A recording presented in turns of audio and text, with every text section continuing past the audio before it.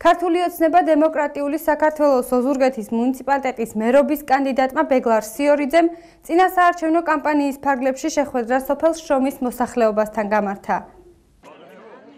ქართული ოცნების კანდიდატი წინასაარჩევნო კამპანიის ფარგლებში სოფელ შრომის მოსახლეობას შეხვდა და თავისი ხედვები და სამომავლო გეგმები გააცნო.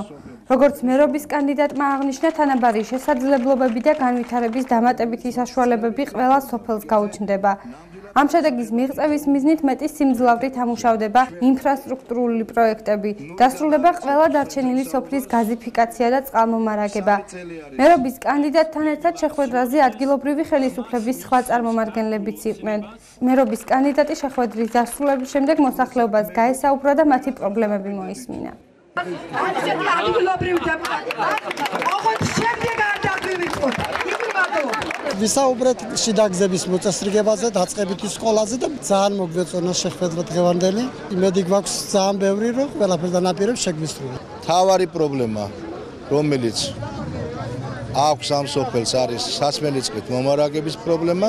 შეიძლება მომდევნო წლის ბოლომდე ვერ დავასრულოთ, მაგრამ მომდევნო 4 წელიწადში ამ კუთხით სოფელს პრობლემა არ ექნება ნამდვილად.